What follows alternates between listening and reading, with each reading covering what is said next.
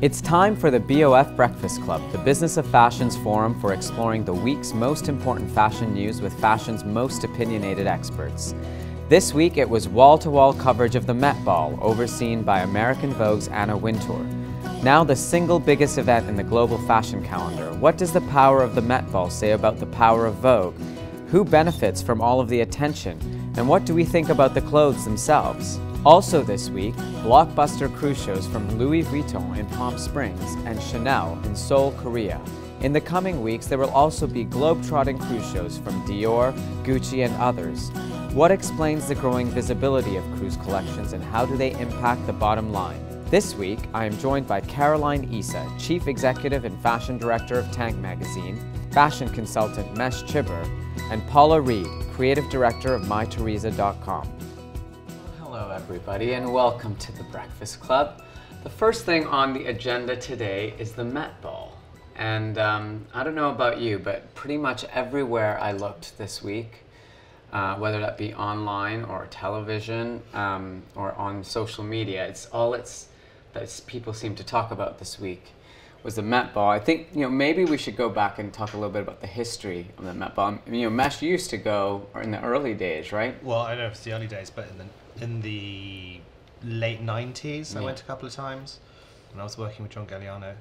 And it, what you forget today is that it wasn't always actually Anna Wintour's event. Because I've I until I read about it, I had completely forgotten that the um, the Dior event had been hosted by Liz Tilberis. Yeah.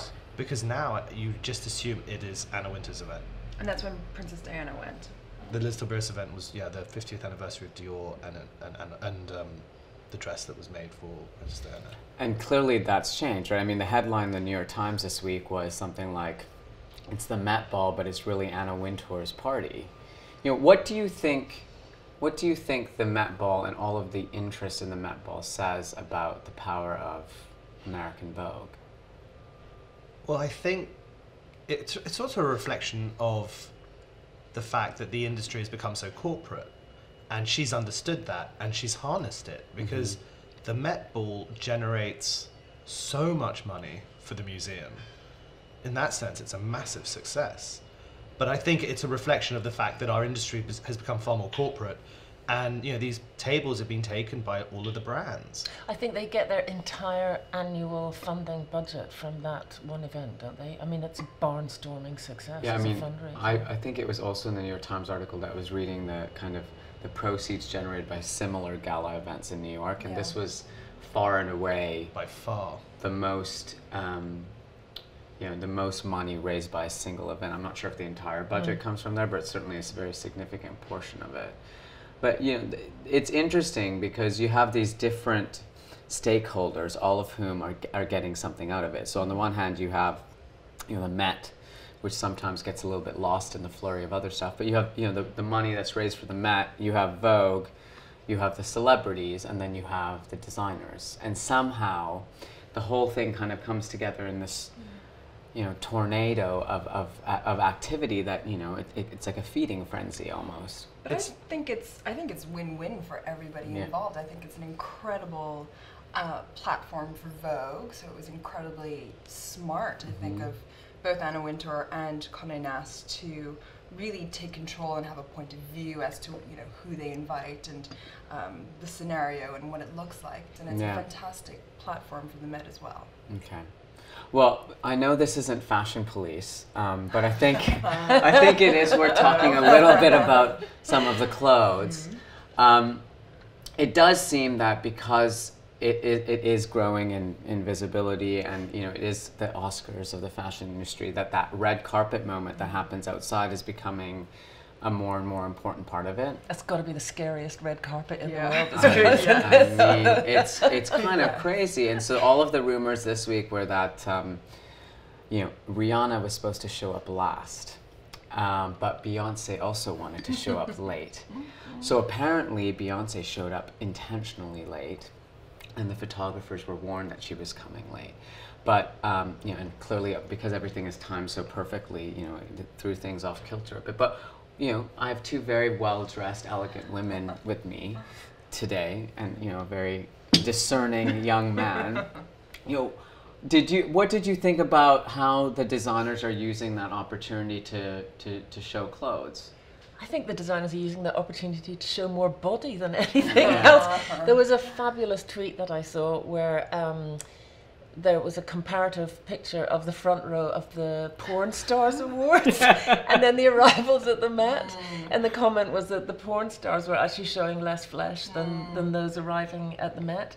Um, I mean, obviously, it's a, it's, a, it's a perfect opportunity for people to show the ultimate of their craft and you know all eyes on that red carpet but it is interesting to me that there seem to be less and less dress Yeah. and more and more flesh and more and more booty. I mean, especially you know, especially the the, the outfits that were worn by Beyonce, um, Kim Kardashian, J Lo and J Lo, Yeah. and inter- they were all quite similar. Yeah. I mean, do you think that really works for, say, Pucci or Givenchy to, or Cavalli to be associated with that kind of? Do you think people it even registers in people's minds that those are the brands behind those outfits? doesn't Well- seem to reflect the brand to me in any Yeah. way Exactly. Well, you will see it because that photo will go everywhere with the name Givenchy under it. Yeah. So even if they don't, you know, they look at it, they don't know that image is usually attached to the, the, the brand name as well. But it's definitely not personifying, I think, the brand and mm-hmm. sort of the DNA that I think the fashion press and p- typical consumers, I think, associate with the brands. But you know, Bob Mackie and Cher did that dress in 1974. Yeah. So it's nothing new. And you know, Cher is, has always been, you know, a costumed kind of shock tactic and always gotten the front pages. And I think. and you know, Caroline you're so right because it was absolutely Yeah, shocking when yeah. she was I mean she really Yeah, at that time. commanded Yeah. the center of attention Yeah. but So. Well, interestingly, Cher made an appearance at the Met Ball for the first time Jacobs, in yeah. a very long time Yeah. um, this year, and you know, she wasn't showing. No, wearing a lot more than a lot wearing. of a- others. she was wearing a lot more. Um, I. I do think you know um, what you mentioned, uh, Paul, is, is quite interesting because there does seem to be a significant disconnect between what the brands stand for, say in their campaigns or on their in their runway shows, and then what ends up on the red carpet. Yeah, well, I guess, I mean, to me, it feels almost like it's indivisible, you know, one flesh coloured embroidered piece of tulle from another. I mean, of course, the brand has been talked about, so Pucci, Pucci, Pucci, Givenchy, Givenchy, Givenchy, but I can't remember which dress was which, to be perfectly honest. I just sort of remember Helen Mirren's red Dolce Gabbana dress 'cause it just looks so chic. Yeah, yeah, she did. So she that looked to me, amazing. that just is the it, the one dress that I remember from all of Yeah. that is probably the, the chicest one. And the rose byrne dress, I think it was Calvin Yeah. Klein. Yeah. So you know, you, there are certain women who kind of, um, kind of personify elegance on that catwalk. And there's also that sense, you know, that kind of the, the I suppose that photo moment where you want something a little bit outrageous. But I thought Moschino did it really well with um, Yes. Katy Perry's dress. There was that sense of humour, and I'm sure it would be a great photo And opportunity. as Madonna well. did a, a dress with um, Moschino as well. And you, you know, Jeremy Scott and the, the two pop icons together. That that works quite well because you kind of remember it. But I don't know. I think the strategy of, you know, removing le- more and more um, garment or fabric from the outfits. You know, eventually they're just going to be walking out like the, the porn stars. no, the porn stars are completely covered. Yeah. Reversal. if you all recall, Chanel had this plan to, to do this big show in Korea, and then it was only, I think, partway through the process that everyone discovered that actually there's going to be a major fashion scheduling conflict. Nonetheless, the show in Seoul, Korea, that Chanel did went on, and then a couple days later, uh, Vuitton did their cruise show in Palm Springs. Um, you know, Chanel started the trend of this, or, or the, the, the, strategy of, of showing these cruise collections in glamorous, exotic locations. And Caroline, you've been to several of these kinds of shows. And yeah, you know, I think it's it's um it's entertainment at this point. I think the the big brands, Chanel, Dior, um, Vuitton, now Miu Miu's on board with Cruise as well. You know, it's becoming like they've got bigger and bigger missiles and more and more money spent, and it's becoming kind of entertainment. And the fashion is almost kind of by the side but they are incredible productions and so many fashion press are flown in. But I also think it's really interesting and, and probably most important that actually VIP clients are there Mhm. versus kind of during the runway shows when it's very press and buyer oriented. But these are these are mega productions and they're kind of incredible immersive entertainment pieces. Mhm. Um, but they get bigger and bigger, and I think by the wayside, smaller brands just cannot compete with what the super brands are doing. Well, of course, there, there is a commercial reason for it, right? As you say, that, you know, the, the clients are there, uh, and you know, having attended a couple of the shows myself, um, you know, most of the chief executives, you know, what the thing they seem to emphasize, and we spoke to some of this week, so, some of them this week, is that actually it's one of the best moments to engage with top clients. Apart from the engagement with the, the kind of VIP clients, the other thing is actually, as we all know, cruise collections are sitting on the shop floor for much longer, and up until now, there was no communication about them. And it was Chanel, as I said, that spotted this opportunity to communicate about the shows and kind of carve out this moment, you know, outside of the crowded Fashion Week calendar to, to kind of engage with clients and the fashion press and, you know, emphasize these, these collections. But I wonder, you know, with all the brands doing these shows now and, you know, amping up the production values and taking it, you know, to a whole new level, it seems, every season, do you think there's a point where it just it loses its impact? Well, they, I mean, they've, they've chosen strategically important cities in evolving markets for them. So Seoul is a massively, I mean, Korea is a massively important market. Mm-hmm. Um, so it's not surprising that they will, that, you know, Chanel have always been, Bruno Pavlovsky has always been very, very astute in kind of following the trend of their kind of emerging markets. But, and, for, and as an experience and as a touch point with that brand, it's perfect. I mean, it's a, it, as you said, totally immersive experience. But for people in Seoul who are not anyway connected with, you know, the Paris fashion circus, that's an incredibly important kind of exposure to the brand. For those of us on the circuit, the idea of traveling to yet another city, and now London is going to have, you know, resort collections. Exactly. It can feel a bit wearying, like, oh God, yet another one. But those resort collections, they are gathering in strength, commercial strength, more and more and more. They're a significant part of our buy. And still, the buy on the investment in resort is way more than what it is in um, collections. Can you, uh, Paula, because you, you know, at, at, at a place like MyTheresa, or even you know at Harvey Nichols where you were before, I mean, can you talk a little bit about you know why these collections have become so important? You know, what is it about them that makes them so commercially significant? Well, you touched on it. They, they sit on the shop floor for a lot longer, so they tend to also be um, much more of a kind of reflection of the DNA of the brand in a, in a wearable sense. So where you get all that kind of hoopla on the catwalk, and that's a real statement. It feels almost like street fashion now. Some of that stuff. Those are the headlines. And then underneath that, I don't mean to say underneath in a, in a kind of disparaging way, but behind that is the real meat and potatoes of um, the commercial kind of driving force of the brand. And that, I mean, a lot of people will say that that ratio of 70 to 30% still sits among, you know, most people's investment kind of works out that way. So 70% to resort collection or pre-collection and In then terms 30 of overall buy, in terms of overall buy, and then 30% for catwalk. So that is a massive, massive investment. I also suppose, in terms of social media, they generate amazing images mm. because they're you know they're not in the normal cities.